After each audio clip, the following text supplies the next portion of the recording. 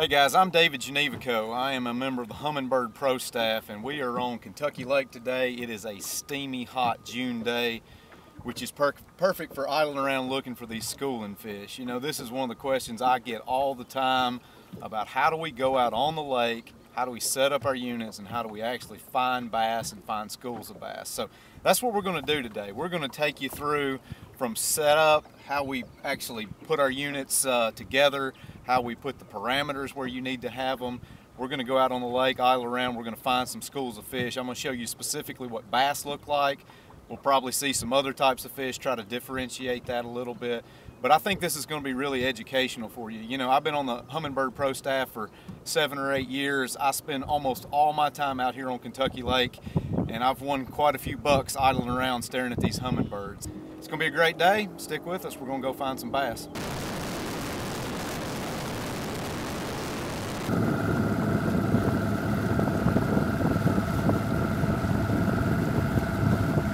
I mean on the down imaging right here and you can see these guys kind of sitting in the black right there. We'll go back and forth over them a few times. That's not a bunch, you see five or six, uh, but we're gonna go back and forth over them and, and maybe catch a few. When you see them right here next to the bottom, those are the ones that are a lot easier to catch. When we get them way up off the bottom, we kind of kind of change tactics a little bit. But you're basically gonna see in the black part here, that's you're looking at kind of the same thing on the side and the down of what you see in the black. The black is the part that's under the boat. I'll, hopefully in a second we'll show you some and what the bass look like off to the side. But these are just, you know, a, a little handful of bass kind of sitting right there on the bottom. I'm gonna idle back over them and see how many we can find right here.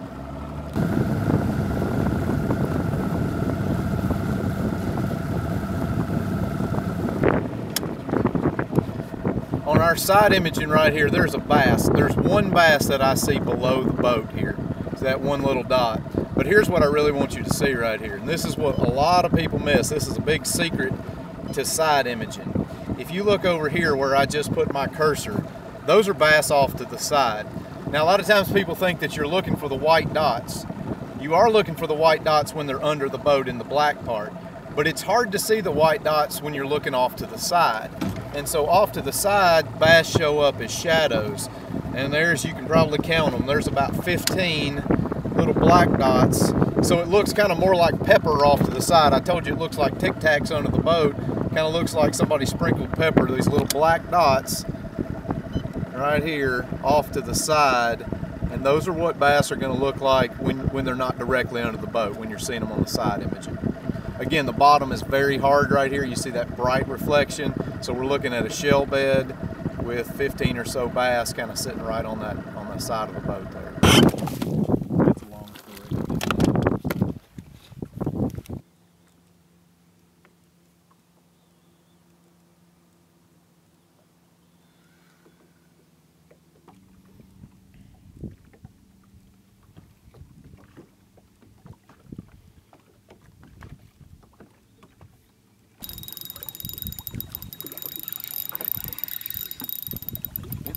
Drop shot. That's a pretty good one.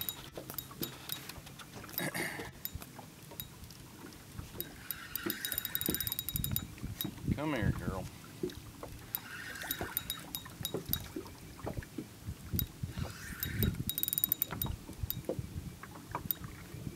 You don't ever know how big they are on this thing.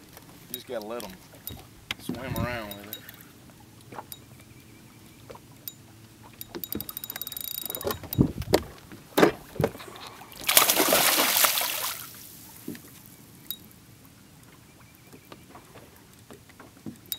Come on, are you tired yet? Let's go.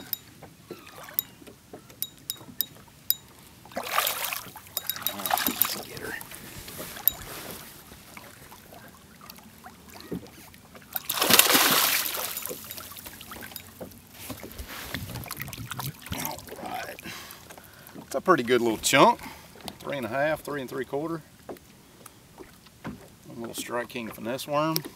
You know, we saw those fish, they were real scattered you know, we came over them and I, you know, I saw five or six and sometimes when they're like that, you can't get them to bite, you know, a reaction bait as well. So I'll throw that drop shot to get them started. We'll throw back in there and see if we can catch another one, but it's a good little chunk.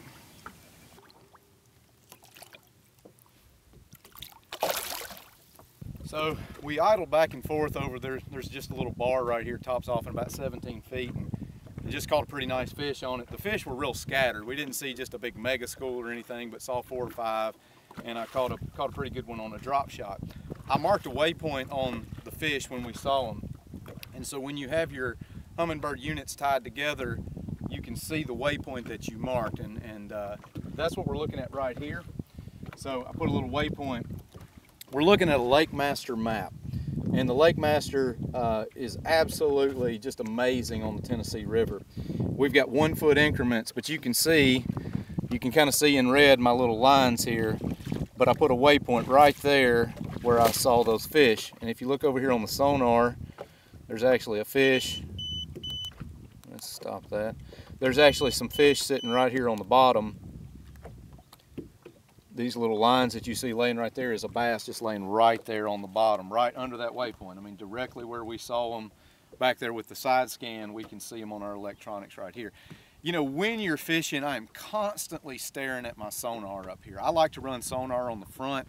Um, this is chirp sonar. I've got it set 180 to 220 kilohertz. Chirp just gives you a real uh, definite picture, target separation between fish and the bottom. And so I'll set I'll set my chirp up here and I'm constantly staring at this because if you see some fish and you think you know where they are and you're casting at them, a lot of times, I can't tell you hundreds of times in tournaments, I've actually seen the fish directly underneath me on the sonar back the boat up and drag a bait through them or wind a crankbait or swim bait through them and actually catch them. So I think sometimes we get really, really hung up on where our waypoints are and where we saw them when we idled over them.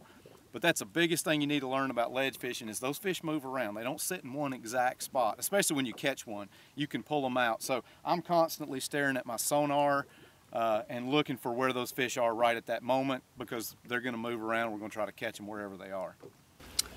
All right, guys, so we're going to take you through how you can take your humminbird unit straight out of the box and set it up to go out on the lake like we're going to do today and, uh, and hunt for fish. So what I've done is I've taken, this is a Helix 12, I've taken and restored to factory default. So this is just the way you're gonna take it out of the box when you get your Helix unit.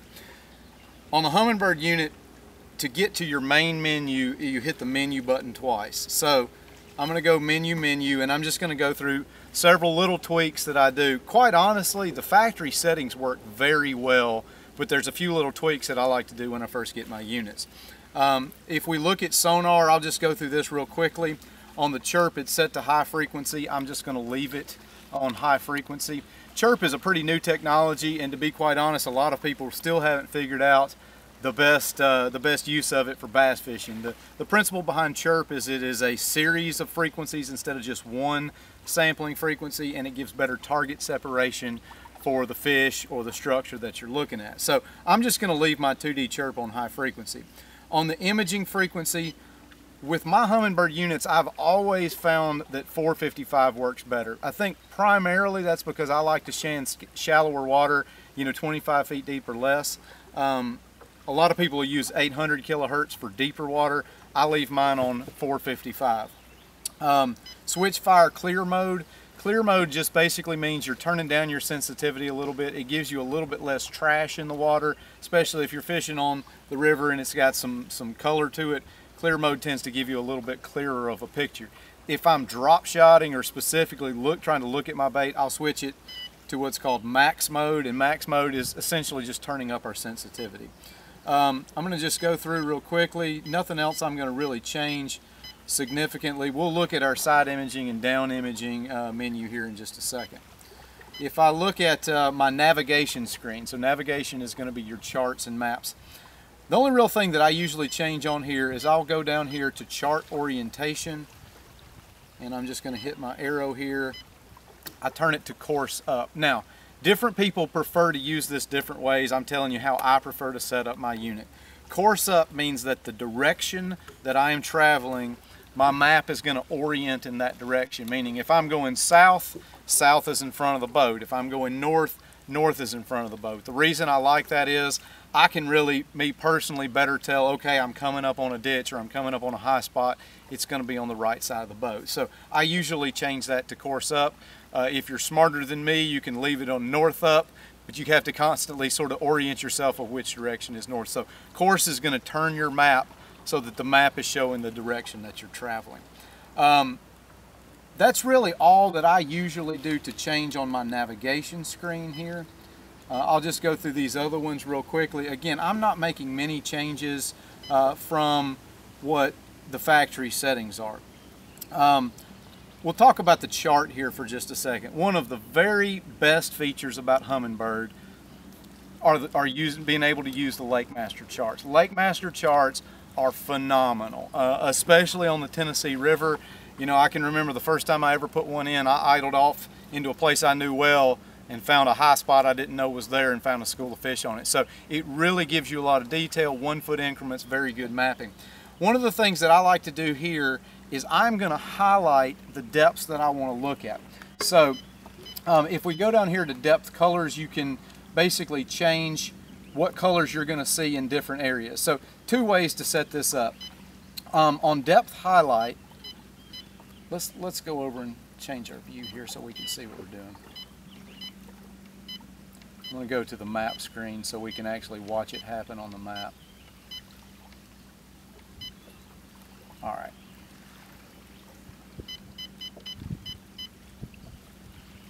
And then let's travel out here to the middle of the lake.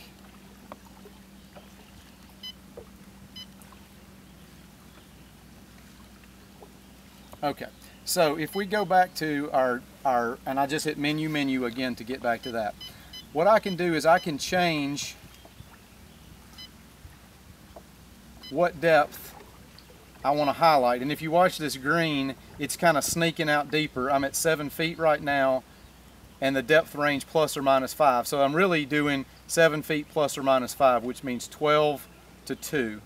But the more I click this, the further you'll see these green lines come out. Well, let's say it's summertime on Kentucky Lake and I'm really looking for ledges that are gonna be from, let's say 12 feet to 17 feet. So I can take my depth highlight to 12 and I can leave my range plus or minus five and everything that is highlighted in green now on my map is going to be from 7 feet to 17 feet. And you can play with that. You know, you can do you can do a little bit smaller range, you can do a larger range, but it really makes keying in on exactly the depth that you're looking for really easy because you can go down the lake and you can see those colors and you can vary that very easily. The other thing that I'll do here on this screen is I'll do my shallow water highlight and that's basically I really do that for safety. You know, I'm going to highlight everything that is four feet and under. And so now if you'll look at my graph here, I'll clear this out. Anything that's four feet and less is going to be red. And so this is really key, you know, in the wintertime when the lake's at winter pool, I might highlight six feet and under because if the lake drops down four feet, I want to know what's shallow to keep me safe. Other thing is sometimes they get on really shallow spots in the fall that's a good way to do that. So that is one of my favorite features about the Humminbird is being able to use that LakeMaster and really customize it. And again, to get to that, all I did was menu, menu. I tab over here to the Humminbird chart and I can change that depth highlight. But LakeMaster is a really big advantage to using uh, a, a Humminbird unit. So we just came over the tip of this point and there's a group of bass and you can see them both on the side imaging and on the down imaging and they're sitting at about 22 feet look at them right here. And what I'm to do, if you look at on the helix here, we can mark actually exactly where the fish are. So we've idled over, again, we're seeing our little tic tacs down there. That's what we've been looking for. That's not a big giant group, but there's several fish right there. So I'm going to bring my cursor over here and I'm going to put a waypoint, just hit the mark button, and I put a waypoint exactly where those fish are so that when we circle back around, we'll be able to make sure that we're sitting right on them. You can do the same thing on the down imaging. If we want to change our screen here, uh, you can hit menu, tells us which side is active. We're going to change it to the left. Now, of course, we've our cursor has gone on, but then we can put a cursor on the down imaging where we see our fish. But we're going to idle around a little bit more, see if we can see a few more, and then we'll make a couple casts and try to catch some. Okay, so we're idling around. We just saw a few bass, and when we came off of this ledge right here, I'll show you this, we drove over a brush pile. And I have a lot of guys talk to me and say, boy, I found a lot of fish, but I couldn't get them to bite. And I think a lot of times people are really looking at brush, they're seeing brush and not necessarily seeing fish. So let me just show you this. If you drive over a brush pile just at the perfect angle, at the perfect speed, it'll look just like a tree. But a lot of times when you don't hit it just exactly right, you'll see something that looks like this. And so if you look right here, you can actually see some tree limbs sort of coming down that ledge. And this is a big pile of brush at the bottom. When you see this vertical orientation, and it almost looks like fish sort of stacked on top of each other, that is a vertical piece of structure. Those are not bass. You know, this could be a little bass right here, sitting right there, but when you see that vertical orientation, you see all of this white right here. You can also see it on the side imaging here. What you're looking at is, is brush pile. Um, you can see kind of this same little tree right here, shows up there. Now these two little dots right there, those are fish. Uh, look a little small to be bass. You can also see some brush over here to the side. But again, if you see that little vertical uh, pattern you're not seeing fish, you're seeing brush. We're going to talk about the parameters of how we're going to set up our imaging, uh, side imaging, and our down imaging. From any screen that you're actually, when you're actually looking at your data here, you can hit the menu key. The menu key right here is going to show the menu for the screen that is highlighted. And you see this little arrow pointing to the right, that's telling me we're going to look at the menu for side imaging. So when I hit the menu, first it says active side right, which means we're looking at this window here. Split position is telling me how big this box is. So if I change the split position, I'm making that box smaller. Now, here's a big secret with the side imaging. As big as you can get it. Because when you're looking for bass, you're looking for small detail. And the bigger the screen that you're looking at, the better. I usually, people ask me, what unit should I get? I tell them the biggest one that you can afford for actually idling around looking because the bigger that screen is for side imaging, the better your detail is going to be. So I'll set this 30. I think you can actually go down to 20, but I like 30 so I can still see my window uh, for my down imaging there. If I hit, uh, I'll get out. If I hit menu again, we'll go down. SI side just means whether we're looking to the right or left, and we're looking both. Sensitivity comes at 10. That is usually where I leave it. Now, depending on water clarity, depending on depth, sometimes I might go up to 11 or I might go down to 9. I rarely go any further than one or two away from the 10 setting where the unit comes. It works really well there. So if ever I get in somebody's boat and they say my unit's really off, I don't know what's going on, I look and their sensitivity's at 17 or it's at 5. Stay really close to 10 and that's what you want to do. Enhance is really the same way. Um, you've got a contrast and I rarely go more than one or two clicks from 10. 10 is going to work well in most situations. Again, I might play with that just a little bit uh, if I feel like I'm not seeing as clearly. That has to do with water, uh, with water clarity, but usually I'm going to stay right on 10. I don't mess with the sharpness. I usually leave that off. Contour mode is going to actually, I'll show you what contour mode does. Contour mode takes the middle part out. So it takes the black part out. I've looked at side imaging a lot and I don't like that. I like to be able to see what's directly under the boat. That's very similar to what you see on the down. So again, I'm going to leave that there. Let me get back to that screen. And I'm going to turn my contour mode off. Okay, and then you'll see, again, because we're in very shallow water, you don't see that, but you'll see the black part being the water column underneath the boat. Okay, colors. I keep this very simple. On the Humminbird units, I really like to use Amber 1 on really bright sunny days, and I will use brown on real cloudy days. Brown shows fish really well, and again, we're in very shallow water, so we're not seeing this, but brown shows fish very, very well, but when it's bright and sunny, it's harder to see. Amber 1 is number 2, the number 2 default on the Humminbird. Um, I like Amber 1 for most conditions. Blue's okay also. A lot of guys use blue. My personal preference is for Amber 1, which is number 2 on here. Okay, last tweak we're going to do uh, to our side imaging. Let's look at the range. The default comes at 120 feet. That's 120 feet to either side of the boat. If you were looking for a bass that is, let's say he's a foot long, that means on one side of the boat, he's going to be 1 120th of the size of this window. That's very small. So the shorter distance that you look at, the easier it is to pick out fish. I usually use from about 50 to 60 feet on my range. I just set it to 55 and that's really ideal. I will go a little bit further out if I'm looking for a big piece of structure like a big grass bed or you know something sunken under the water because uh, you can see something really big at a bigger distance. But when you're looking for bass, 50, 55, 60, maybe 65, I would not go much further than that. If you have a smaller unit, you need to go even less because again, your screen is smaller so the bass are gonna show up smaller. So 50 to 60 is, is really ideal. All right, so anytime you're on the Tennessee River, Cumberland River, a lot of people are seeing Asian carp. There's a lot of Asian carp in these lakes. And Asian carp will sit on the same kind of places as bass. And basically what they look like is they look like bass, only a lot bigger. And we're looking out to the right side of the boat here, so off into the deeper water. It's shallower on the left, deeper on the right. These are Asian carp right here. And you see the big, big shadows that you're seeing.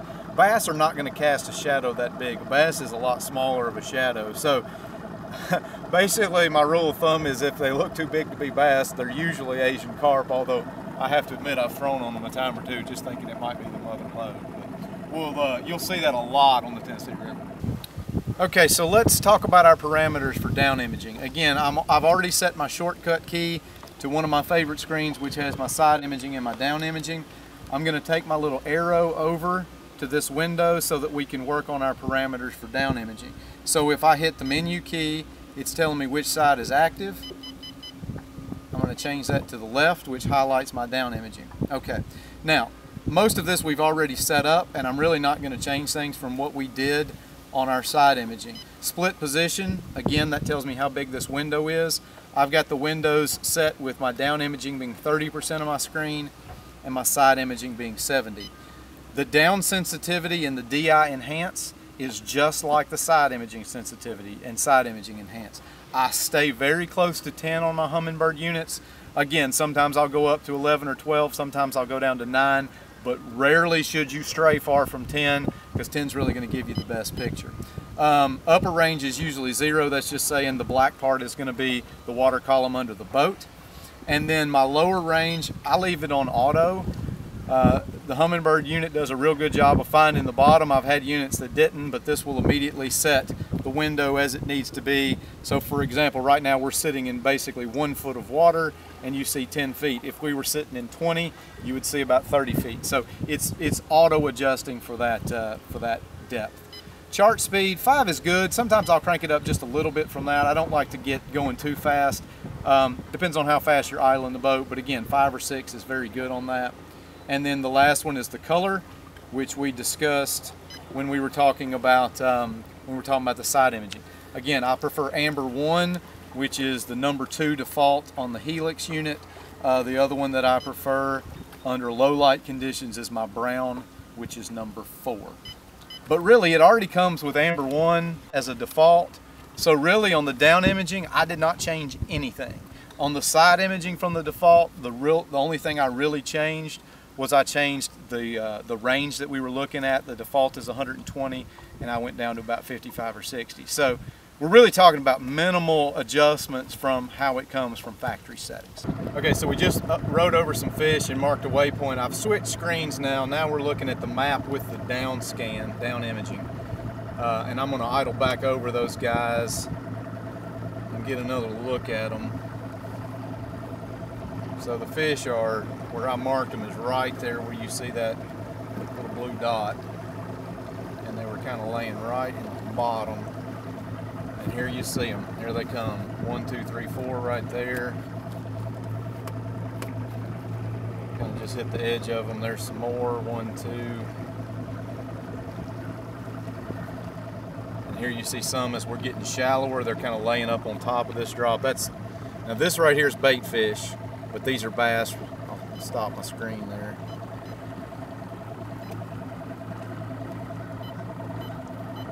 So these are bait fish, but we're seeing bass as we're kind of coming up. So the bass were laying more kind of right in the on the edge of the drop, or as the drop is going down, you see some bait fish up on top. But uh, let's turn around and catch some. That sounds like a good plan to me.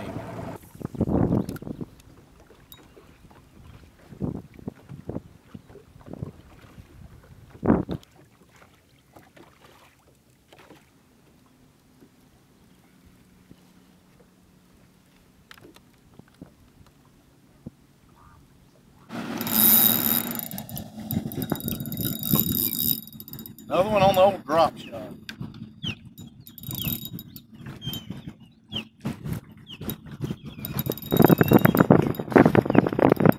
How big he is, he's bullet. Big though. Kind of like a brown fish.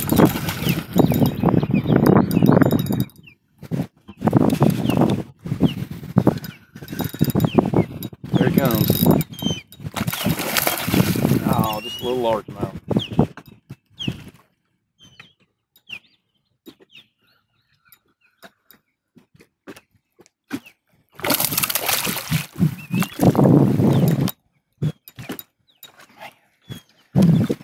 Alright, come here, little dude.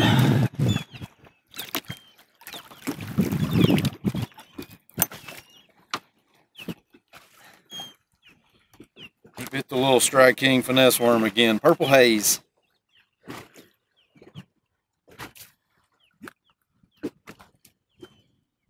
We saw a little wad of them, didn't see a big bunch. Again, today they're not really pulling much current, so the, the schools of fish we're seeing are having five, six, eight fish in them, and I'm having to resort to the finesse tactics to get them, but it's a chunky little fish.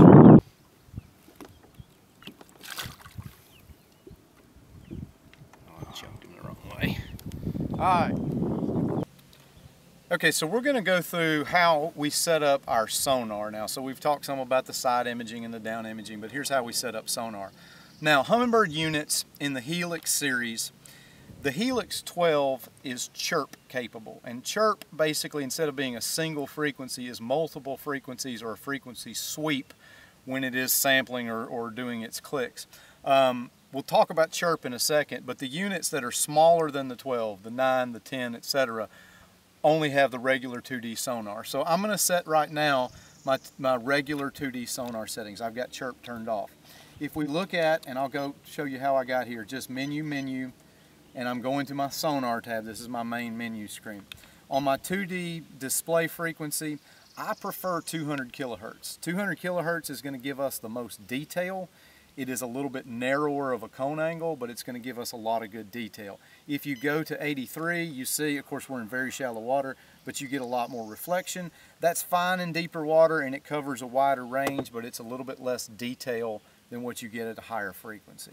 So I'm going to leave that on 200. We've already talked about imaging display. Surface clutter, I get this question a lot. What does surface clutter do? Well, again, we're in very shallow water here, but surface clutter takes away the reflection that you get in the first couple feet of the water column. So if I lower my surface clutter, you see this little line there goes away. Once you get in deeper water, that doesn't matter nearly as much because our screen might be looking at 20 feet and our surface clutter is really right on the top. So I'm going to leave that at 5. SwitchFire is Humminbird's way of very quickly changing the sensitivity of the unit. So rather than scrolling 10, 11, 12, SwitchFire is going to allow me to very quickly go from a higher sensitivity to a lower sensitivity. Clear mode is really good for idling around looking for fish. Max mode, which is our other option, is very good when you're looking for specifically at maybe a drop shot or a spoon directly under the boat. I prefer clear mode, again, for kind of idling around, uh, scanning for bass. Um, I'm not going to turn on Fish ID, so we won't worry about that. Most of these other things I'm going to leave at factory settings. The max depth I will set on auto. Again, that's going to allow it to automatically correct depending on how deep we are. Water type, again, you're going to default to fresh, and that's where I'm going to prefer uh, that we leave it for, for uh, bass fishing application.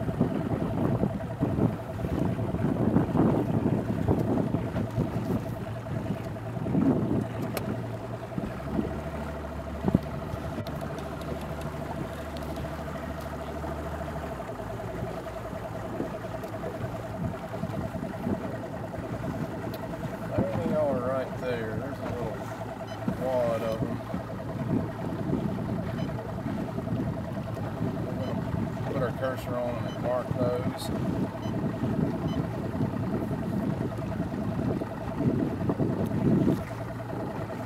Now what I'm going to do is I'm going to set my shortcut keys. This is my absolute favorite feature of using this thing on the water are these three keys that you have on the Helix. If you've used the old 999s or 1199s or 1198s, you know these three shortcut keys. So what I'm going to do is I'm going to set the views that I use the most. So to toggle through my views, I'm just hitting my view button here. And everybody's going to set this up a little differently, but I'm going to show you how I like to set it up.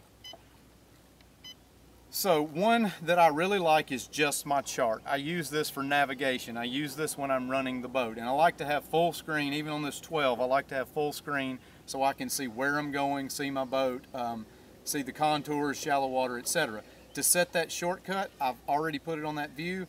All I'm going to do is hold down the shortcut key for about three seconds and it says shortcut saved. So let's go ahead and set our other shortcut. So we just set the shortcut for our chart or our map, which again is one I use all the time. Again, to toggle through the views that you've got, you just click the view button.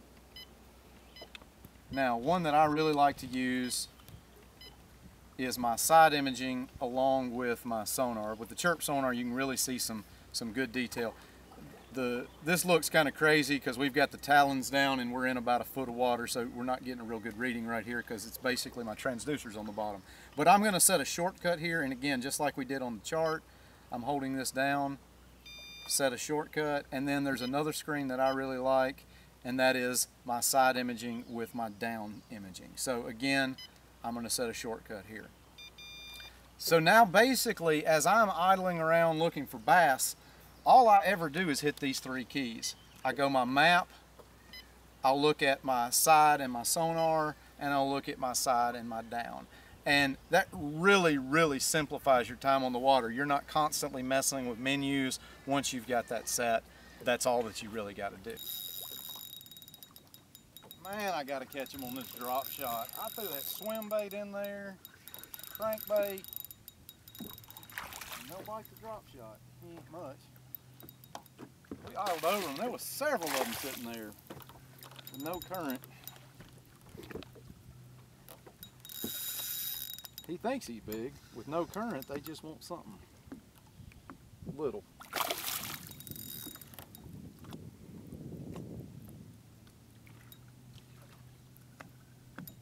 All right, little dude.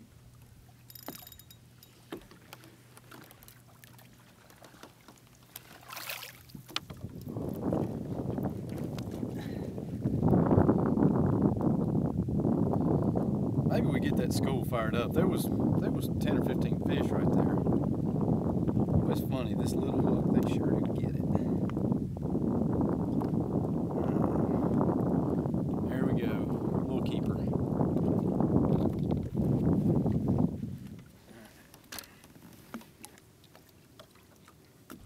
The exception to my rule uh, as far as using the 200 kilohertz for my 2D sonar is when you're running multiple units and the transducers are close to each other. You can get by with running two units, one on the back of the boat and one on the front at the same frequency, unless you're fishing very deep water because they're separated at a pretty good distance. But as most bass boats do today, I've got two units right here uh, at my console. If you're going to run sonar from both of those units at the same time, they need to be on a different frequency. Um, I've gotten in a lot of boats to try to help guys sort of troubleshoot their units, and they were running two units at the same frequency and they were getting a lot of interference. So if I were going to do that with both of these units, run sonar at the same time, I would either run one on chirp and one on 200, or I would one, run one on 200 and one on 83 if you're going to look at sonar at the same time on two units, you really want to separate your frequencies so that you don't get interference. Follow your track. A lot of times if the wind's blowing or if you catch a fish, I always leave my track on on my Humminbird so that you know the wind or the current or whatever moves you away from where you were. You can just follow that little, on, on mine I got a little red line. It just takes me right back to where I was when that last fish bit.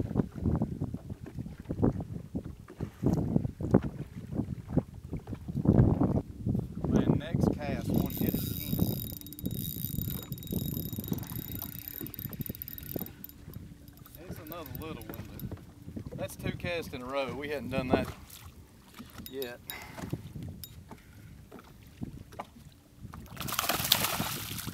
Come here, little dude.